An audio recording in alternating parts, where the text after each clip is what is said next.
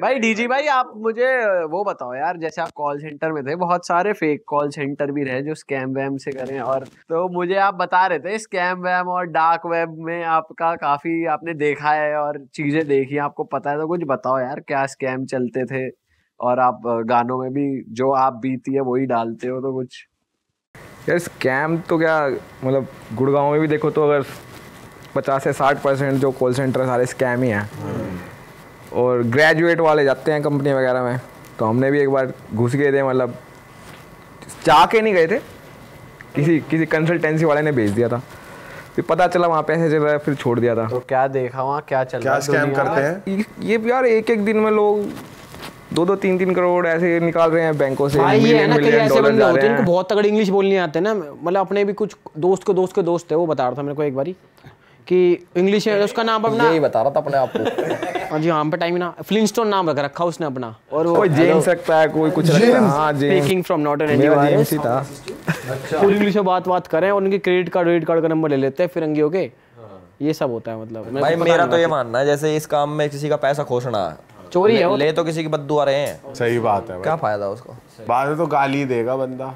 DG भाई आपके घर वालों का क्या रिएक्शन रहता है? इतनी बदमाशी के गाने होते हैं। तो घर वाले तो कहते होंगे तूने कराए कराए या मतलब उनका क्या रिएक्शन रहता है यार अब तो कुछ नहीं कहते। घर वाले पहले तो बहुत ही सुनाते थे धमकाते थे बात नहीं करते थे। म्यूज़िक हाँ मतलब ये जनता पसंद कर रही है तो घर वालों को भी अब कोई दिक्कत नहीं है।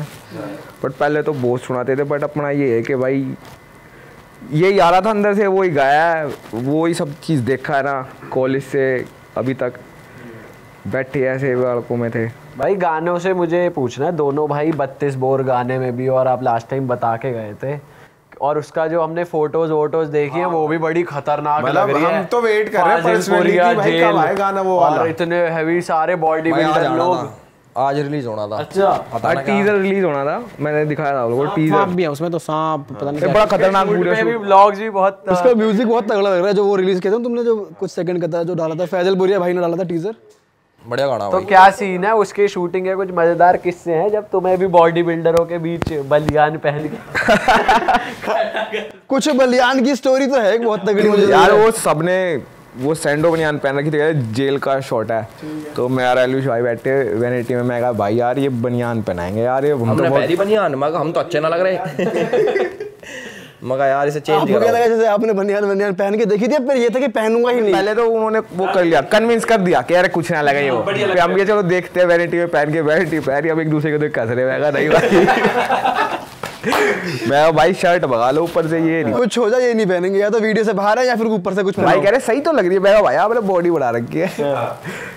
तो उसमें आपका वर्स है और गाना पूरा उन्होंने कहा है या आपका इक्वल इक्वल पार्ट्स है? क्या सीन है उस गाने में? वो मैंने लिखा हुआ है। अच्छा। गाया भाई ने पूरा। अच्छा। कंपोज किया है बेसिकली ओके तो एज अ लिरिसिस्ट आपका हाँ, गाना है। हाँ। और एज मॉडल्स आप हो उसमें।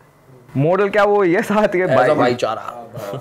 भाईचारा ऑन टॉप और भी लोग हैं यतिंदर भाई भी हैं यतिंदर सिंह। वो भी है गाने में।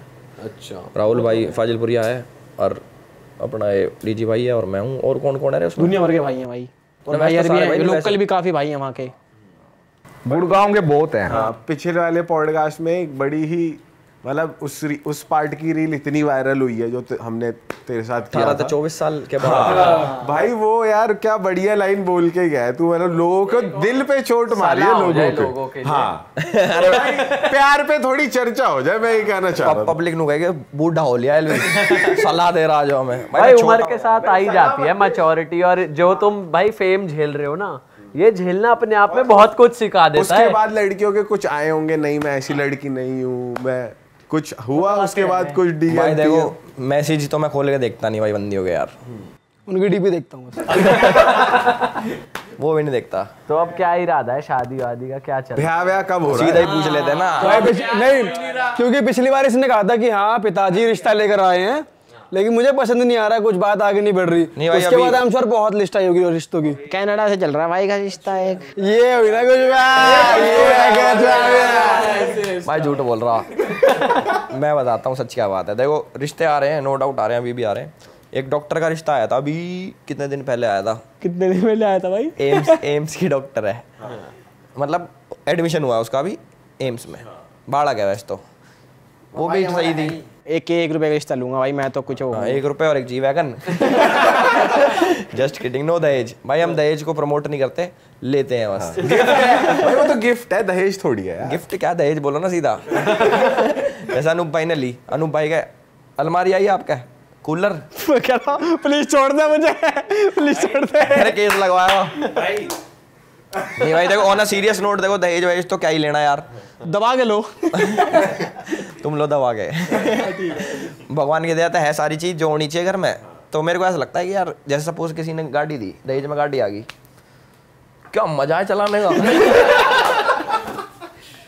नहीं वाला ऐसा लगा यार दूसरे की चीज़ चला रहे हैं। खुद खरीद के चला लो। तो और उस पर पीछे और लिखा रहेगा ससुराल से सहायता प्राप्त। ना ना। तो भगवान ने सही दे रखा है जो होना चाहिए घर की जगह घर है गाड़ी की जगह गाड़ी है तो दहेज तो लूँगा नहीं मैं।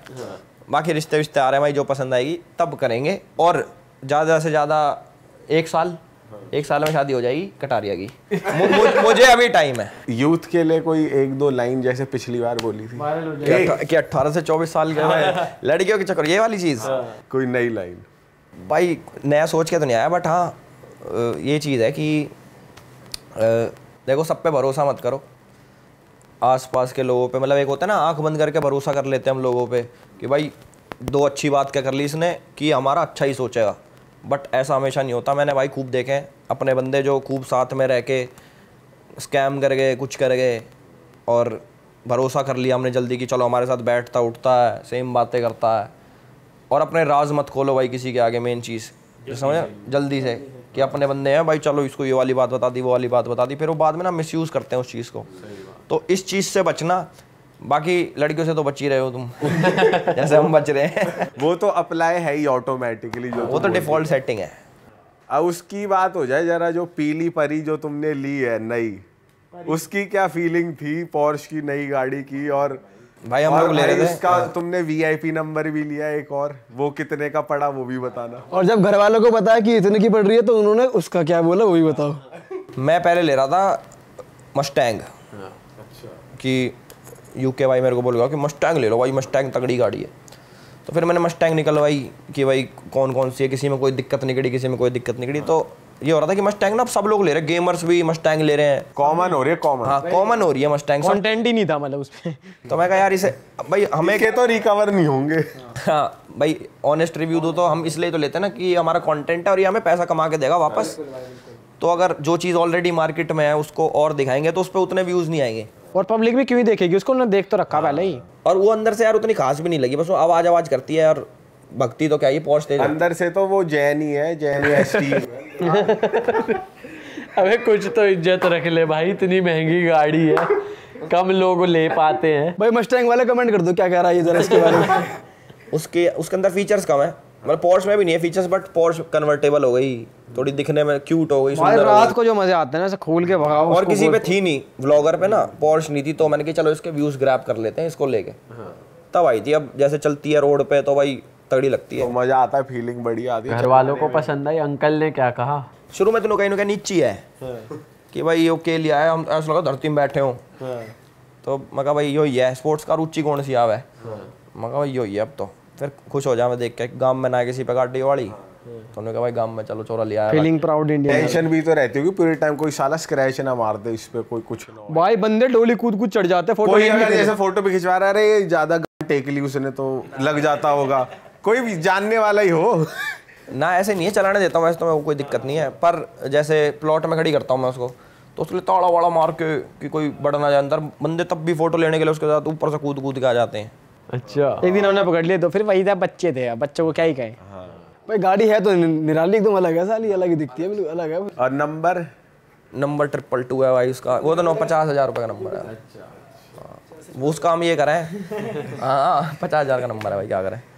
गाड़ी नॉर्मल चला मैं उस पर रेड लाइट पर खड़ी हुआ है तो खोल दे मैं हवाबाजी हैं हैं और जो साइड में बैठ रहा है उस तरह कहते इधर उधर मत देख हर आदमी देखता गाड़ी को चाहे जो जैसे सपोज़ मेरे को जानता है वो तो देखेगा ही।